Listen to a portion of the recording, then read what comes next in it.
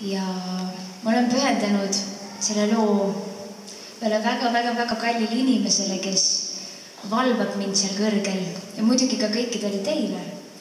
ja lugu kannab nime Me kõik jääme